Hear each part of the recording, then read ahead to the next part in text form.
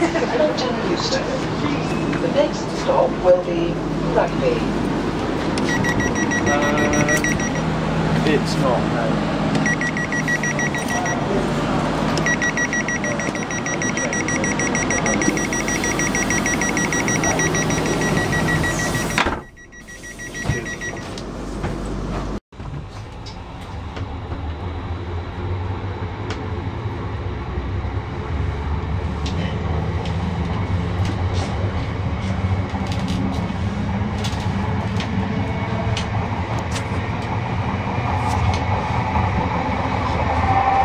This noise isn't very desiro-y.